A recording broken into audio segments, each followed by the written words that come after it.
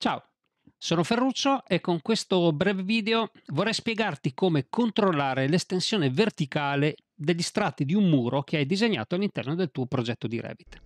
Prima di farlo ti chiedo di mettere un mi piace se hai gradito questo tutorial, di condividerlo sui social, di iscriverti al canale e di attivare la campanella per rimanere aggiornato sulle prossime pubblicazioni.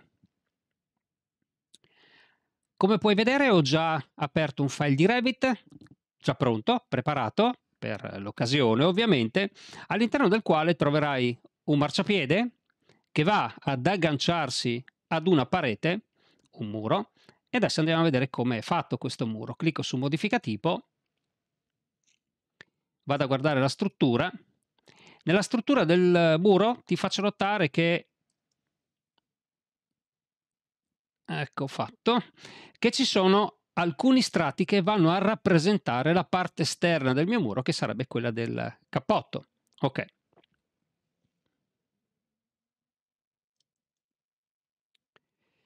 Il cappotto però, esco da qui, non deve arrivare fino alla fondazione, si dovrà interrompere dove c'è l'aggancio della soletta del mio marciapiede con la parte portante del muro.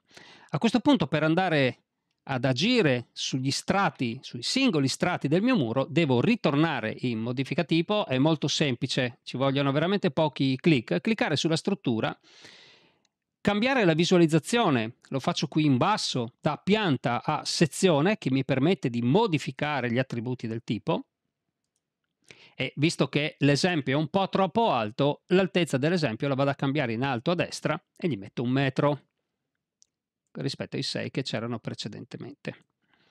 Ora devo andare a influenzare la manipolazione della parte finale del muro.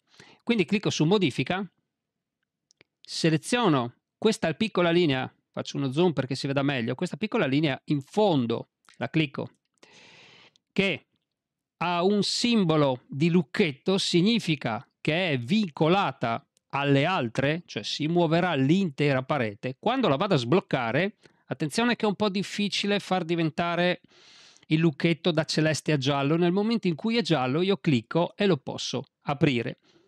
A questo punto ho tolto il vincolo che fa in maniera che questo strato rimanga collegato agli altri nel momento in cui alzo o abbasso il muro. Quindi si muoverà autonomamente, ma io lo voglio fare anche con questo strato del muro. Quindi ripeto l'operazione anche qui. Una volta che sono sicuro di averli sbloccati entrambi, gli do ok ed esco. Applica, ricordatevi di applicare ogni volta e poi gli dare ok. Non so se notate, è cambiata leggermente la grafica della parete. Non solo, vi faccio notare una cosa, che qui nelle proprietà ci sono un paio di valori che prima non c'erano, perché abbiamo l'offset di base, ok? Quindi rispetto alla pianta e piano terra il muro scende di meno 50 cm, però questa distanza estensione base prima non c'era.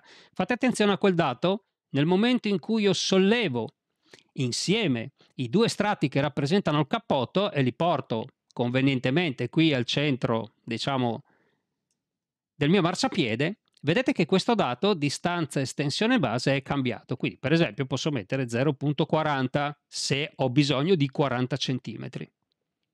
Tutto qua. Non è stato difficile eh, portare a termine questa operazione, vi ricordo però una cosa che non è possibile, seleziono il muro, modifica tipo, struttura, modifica, non è possibile sbloccare strati non continui, contigui. Quindi o ne sblocco uno vicino all'altro, ma per esempio non posso sbloccare quest'ultimo, ok? E mantenere questo centrale bloccato. Perché? Perché quando gli do ok mi dà un messaggio d'errore, mi dice gli strati di estensione alla base del muro devono essere adiacenti, quindi uno vicino all'altro. Ok, noi avevamo sbloccato i primi due, va benissimo così, quindi gli do chiudi e gli do annulla. Spero di esserti stato d'aiuto con questo piccolo tutorial. Ti ricordo ovviamente di mettere mi piace, condividere, eccetera, eccetera. Ci vediamo per una prossima pubblicazione, un prossimo tutorial su Revit. Ciao!